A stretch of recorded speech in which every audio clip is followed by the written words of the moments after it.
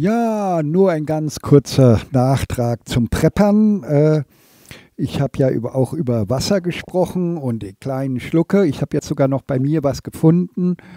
Äh, das MMS hier, also hier von Kokovit, das ist einmal Natriumchlorid. Äh, und dann haben wir hier Salzsäure, vierprozentig. Und darauf habe ich mir draufgeschrieben, wie das zu bedienen ist. Also ich, was ich ermitteln konnte im Internet, ist es so, dass äh, äh, sozusagen, wenn man, also als erstes müsste man unbedingt schauen, äh, dass das äh, äh, Wasser nicht von einem Chemiewerk oder von der Landwirtschaft oder generell von Städten verseucht ist, sozusagen chemisch verseucht ist, denn dieses Mittel kann natürlich selbstverständlich keine Chemie beseitigen, also keine chemischen Gifte beseitigen, sondern nur Bakterien, Viren und so weiter und, und Kleinstorganismen und so weiter.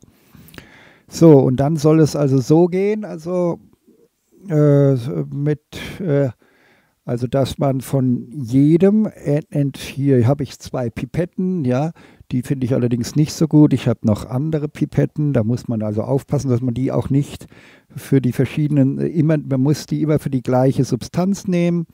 Ich habe das beschriftet hier. Jetzt, ich habe dieses frühere D3-Fläschchen genommen, als äh, das ist ja dann auch eine Schutzhülle für die Pipette.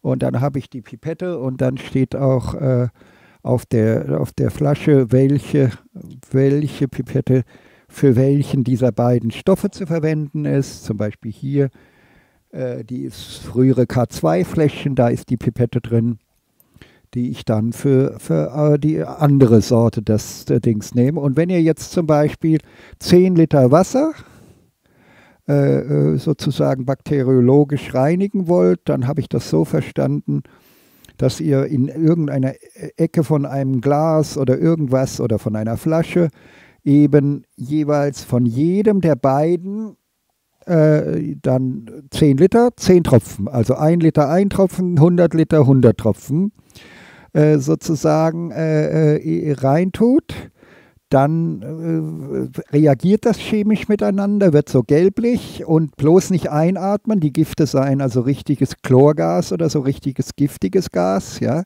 nicht einatmen.